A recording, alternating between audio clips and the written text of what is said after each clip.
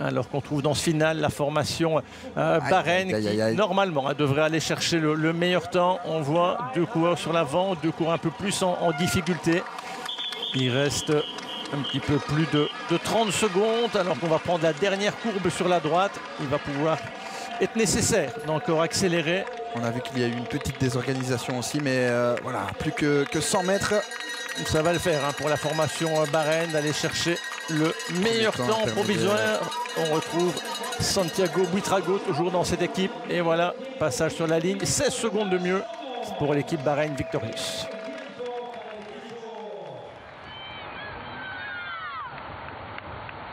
Donc c'est une des, des équipes euh, du World Tour. On peut la citer certainement dans les trois équipes euh, les plus précises en termes de, de suivi. Comme je viens de dire, l'importance de la qualité là aussi du, directeur sportif, de demander à Roglic tout simplement de ne plus accélérer, de garder un coup de Bowman dans les roues. Attila Walter qui est toujours aussi à jeter un petit coup d'œil vers l'arrière pour bien voir que Bowman est toujours à même de, suivre? Regardez, c'est ici hein, qu'on a les, les passages les plus raides dans cette euh, dernière ascension. Allez, Code Bowman qui est toujours euh, avec les siens, qui est toujours parmi euh, ces euh, quatre coureurs donc. Et euh, ils vont devoir un petit peu lever le pied pour faire en sorte qu'ils euh, restent parmi eux, tout simplement. Attila Walter qui va prendre euh, le premier de ces deux derniers virages. Et Bowman qui va maintenant pouvoir finir les mains au bas du guidon sur plus le hein. prolongateur et pouvoir essayer par Roglic hein, C'est ça, avoir l'aspiration de, de Primoz Roglic et la formation Jumbo Visma qui va faire un grand écart hein, sur l'équipe Bahreïn Victorious. On va être pas loin des, des 30 secondes. Ouais, c'est ça, 30 secondes. 31 secondes pour la formation néerlandaise Jumbo Visma. Euh, C'est un écart quand même euh, impressionnant hein, sur 13 km par rapport à la formation Bahreïn Victorious. Oui, c'était voilà prévisible d'avoir la formation néerlandaise qui domine euh, par rapport aux premières équipes du, World Tour qui étaient passées. Maintenant, euh, 31 secondes sur la, première équipe qui les suit, c'est déjà un écart qui est conséquent. La formation Bora Hansgrohe, où là aussi des garçons comme Vlasov, Matteo Fabro, Lennart Kemna. Intéressant de voir. Voilà, au niveau du temps intermédiaire, une seconde de retard hein, pour la formation euh, Movistar. Et l'équipe euh, Movistar, toujours euh, groupée, hein, attention. C'est quand même la grande spécialiste du contre-la-montre par équipe. On veut toujours de la solidarité chez Movistar. C'est encore le cas C'est encore aujourd'hui.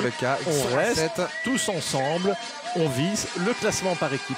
Allez, Allez, formation c'est UAE, parti. dernière équipe à, à s'élancer.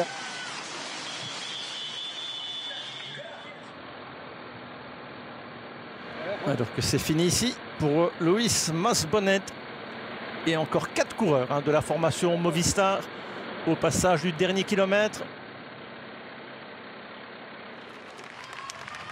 Ça va malheureusement être trop juste hein, pour pouvoir venir l'emporter, mais néanmoins ça va être un bon chrono hein, tout de même de la part de, de la formation Movistar. Qui va aller pour, chercher- euh, Pour, Rubio, parfait pour Verona, parfait pour Lascano. Oui, ça va être une deuxième place provisoire. C'était le cas au temps intermédiaire. Et bien, ce sera également le deuxième temps pour le moment sur la ligne d'arrivée. Mais il faut limiter la casse. hein, euh, venir finir à, à 15 secondes de l'équipe Jumbo Visma serait un, un bon résultat. Même un exploit. hein. Ouais. Ça va être un petit peu plus, mais euh, belle performance de la part de l'équipe espagnole. voilà, 19 secondes. par rapport à, à Primoz Roglic.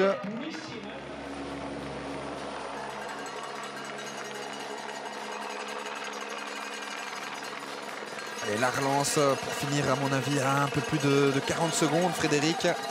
Ça va être un mauvais temps. hein. C'est un très très mauvais temps pour euh, Alexander Vlasov. 30 secondes pour la formation Bora Hansgrohe. Lorsque la formation Jumbo est passée, on avait vraiment ralenti pour permettre à Kuhn Bowman de rester à, à l'aspiration. Et Ici, lorsque vous êtes seul comme ça, vous avez beau voir vos gars euh, au loin, vous avez quand même une perte d'énergie qui est assez importante. Et on voit, voilà, maintenant Adam Yates qui est en roue libre, Brian Gibbons, Jay Vine également. façon, Donc il n'y avait pas ouais. d'intérêt. Il fallait vraiment ralentir plus tôt pour permettre à- à- aux coureurs qui étaient en difficulté de rester dans les roues. Il fait le petit geste, vas-y, repart. Petit geste vers. Mais ça, son, son coup de pédale Voilà. là, à la sortie. qui et on a perdu énormément de temps hein, puisqu'on est déjà derrière la formation euh, Jumbo Visma. On ne finira même pas dans les temps euh, qu'ont fait les formations Bora et Bahreïn. On va, je pense, être au-dessus de là, au-dessus de ce temps, alors qu'on avait le meilleur temps intermédiaire. on le rappelle, hein, ils étaient euh, premiers à 6,8 km de l'arrivée. L'équipe UAE qui s'est totalement écrasée avec Georges Bennett. 34 secondes à l'arrivée. Jumbo Visma euh, qui remporte cette étape comme prévu 19 secondes de mieux euh, que l'équipe Movistar. À la troisième place l'équipe Bora hein, que l'on a vu euh, complètement désorganisée 30 secondes. À la quatrième place Bahreïn Victorious qui avait été l'un des premiers temps de référence. La grande déception par rapport à, ce, à chrono, clairement, c'est sans aucun doute l'équipe AG2R hein, qui n'est même pas dans ce top 10.